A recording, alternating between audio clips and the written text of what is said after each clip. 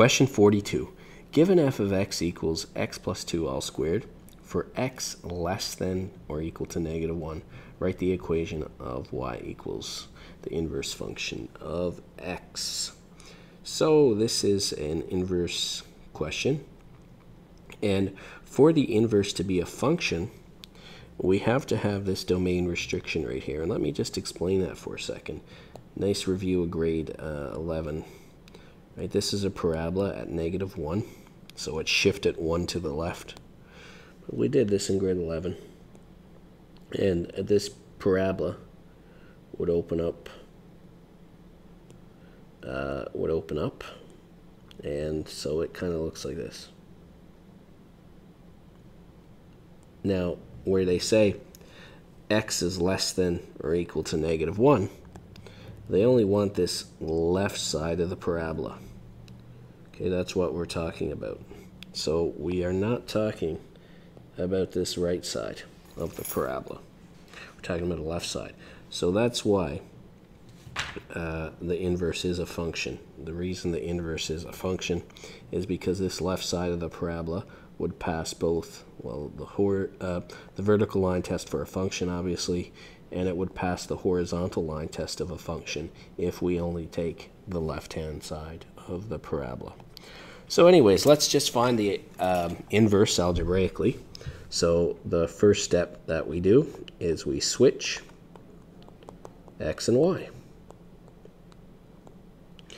And so uh, our original equation was y equal x plus 1 all squared. Uh, for x less than or equal to negative 1, let's switch x and y. So my new equation becomes x equal y plus 1 squared, where y is less than or equal to negative 1. So now we want to isolate y.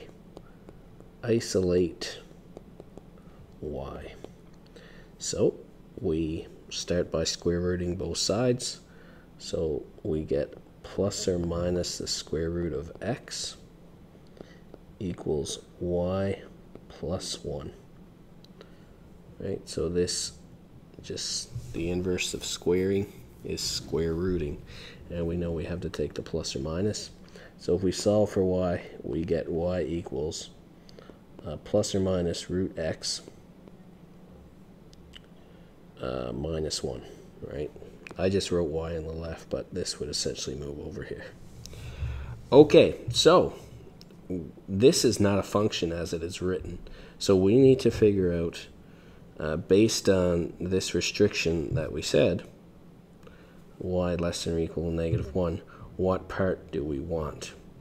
Well, we have a positive part to this function or a negative part. Of course, we know the square root graph starts at 0. So if we want y to be less than or equal to minus 1, uh, we cannot have the positives. So our inverse function that we want are the negative root x minus 1. And this is very tricky. But again, why is that true? Because if we look at the range of this graph right here, if we look at the range of this graph right here, right, the smallest x will ever be is 0, and then we have 0 minus 1, which is minus 1.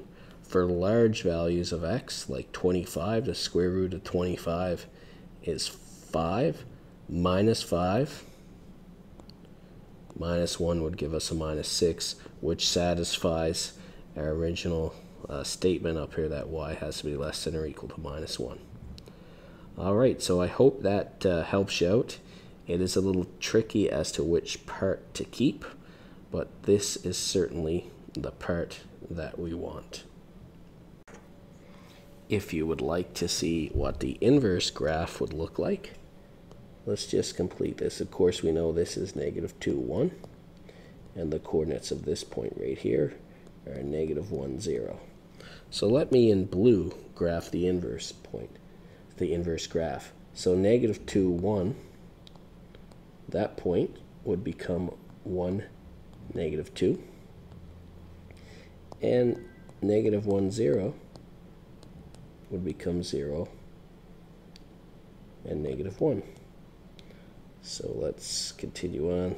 This is negative 1. So 0, negative 1 goes right here. And then negative 1, negative 2, apologize for this, would be about right here. So the inverse of that parabola would make, kind of, well, inverse of half a parabola would kind of make half a sideways parabola. All right, so uh, I think that makes it a little clearer, at least I hope. And again, the graph of this thing I just drew is minus root x minus 1. Uh, a little generally, right, if you want the left side of this parabola, then the inverse of that left side will be the bottom side of the other parabola.